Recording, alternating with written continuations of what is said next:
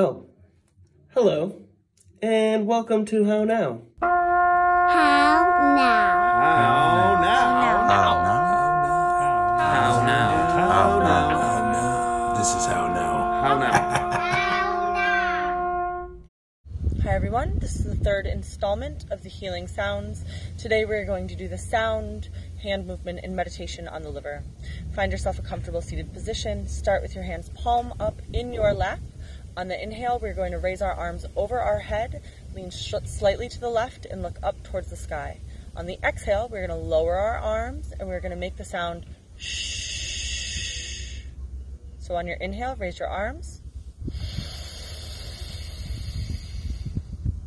You can look up towards the top elbow, and on the exhale, shh.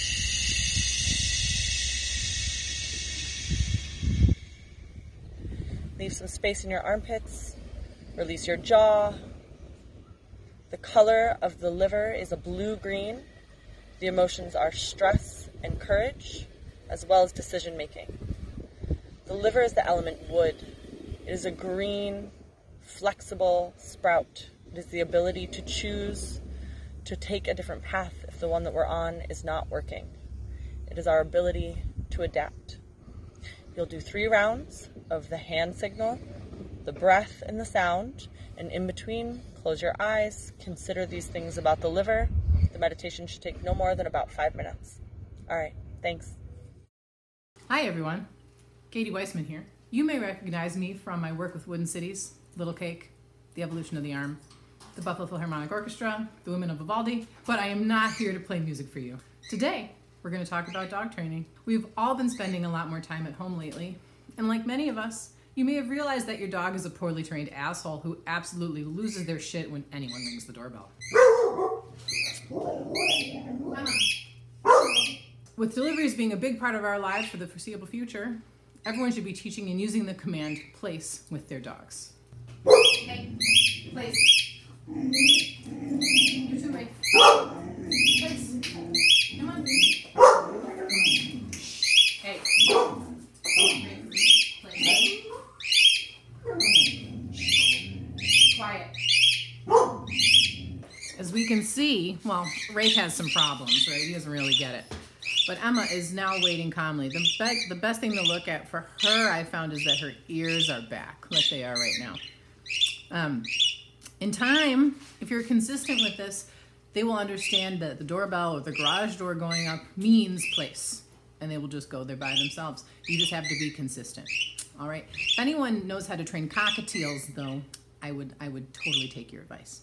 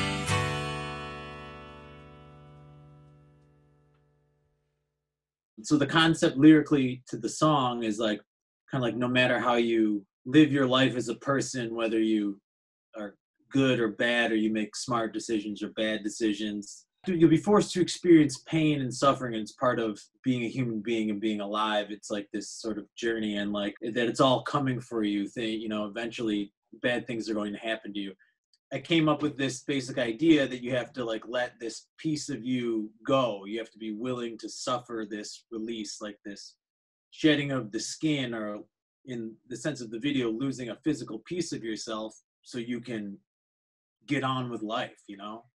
You've experienced this pain this suffering and now you you have to continue on.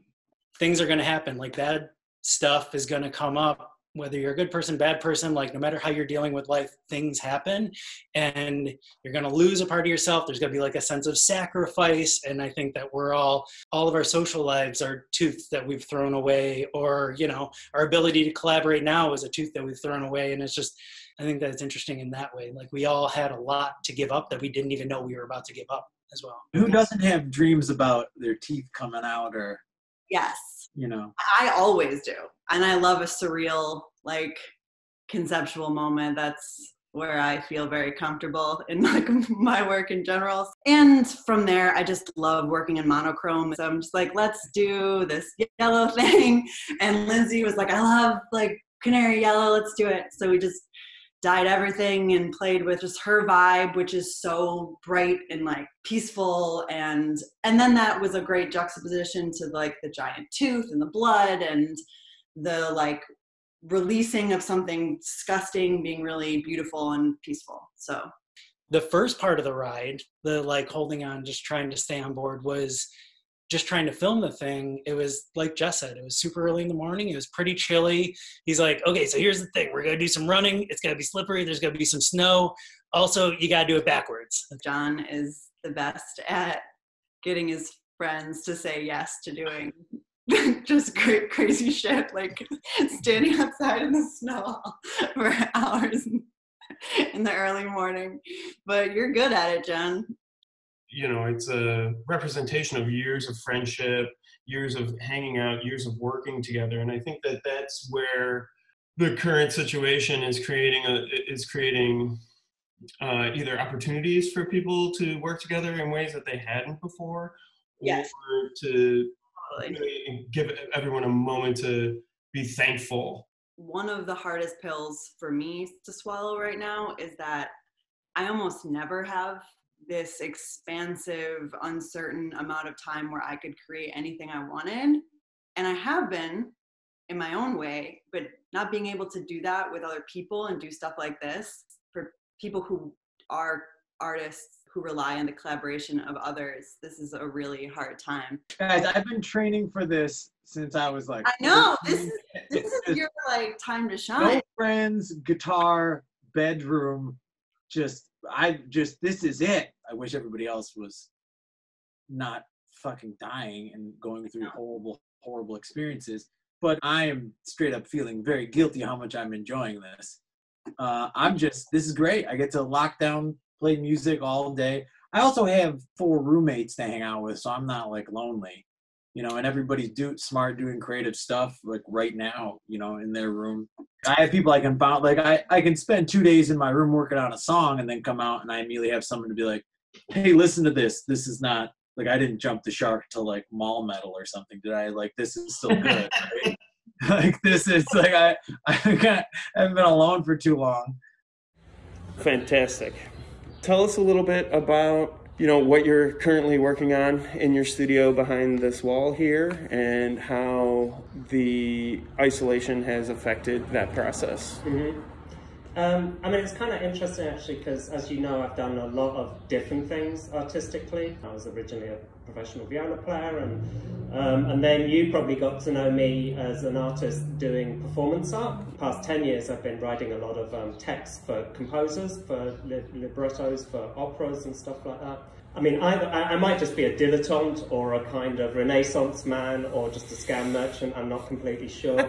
Um, so most of my stuff has been very much for creating things which were immediate, you know, were for a gig, they were for a particular thing, they were going to go out in the world, Um, you know, it was all about me basically prancing around on stage, you Yeah. know, like here I am, you know, yeah. doing my thing. So it was all about visibility. Um, you know, being a performer has always been like that. And then these other things were very much about stage shows where there were commissions. And so weirdly, right at the moment where we had to lock down, I, I had this kind of um, I was already thinking, sort of strangely, prophetically, about I need to withdraw for a moment artistically and do things which have um, nothing to do with circulation. So part of it is is is kind of great, uh, and I think that the the lockdown actually creates um, the confines for a discipline which might have been more difficult to sustain Yeah. if I'd just been like, oh, it's sunny, let's go out with Kevin and like, you know, go to Duende and like, I'll get really drunk. And, you know, you know, like all of that. Well, there ain't fucking none of that happening. Um, so I just have to sort of go in there and do it. Yeah. So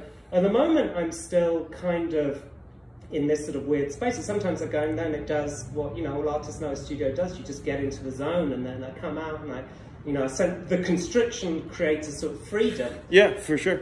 The, there's a lot of interesting speculation happening, you know, internally for a lot of people where they're thinking, how much is what I create based on collaboration? And how much of what I create is based on some divine inspiration? Where do I place value in, in, in that whole scheme? You know, am I somebody who needs other people to uh, further along my ideas?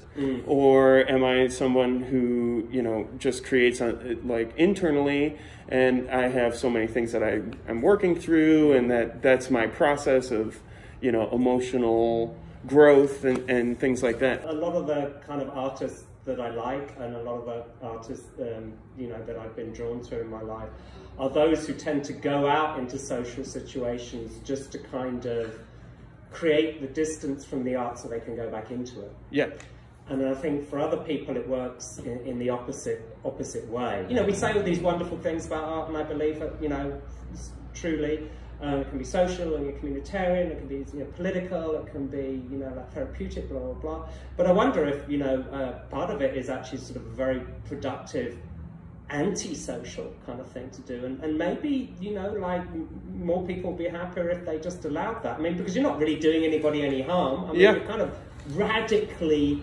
environmentally friendly in a certain sense because you just don't bother the world at all Thanks for tuning in. And until next time.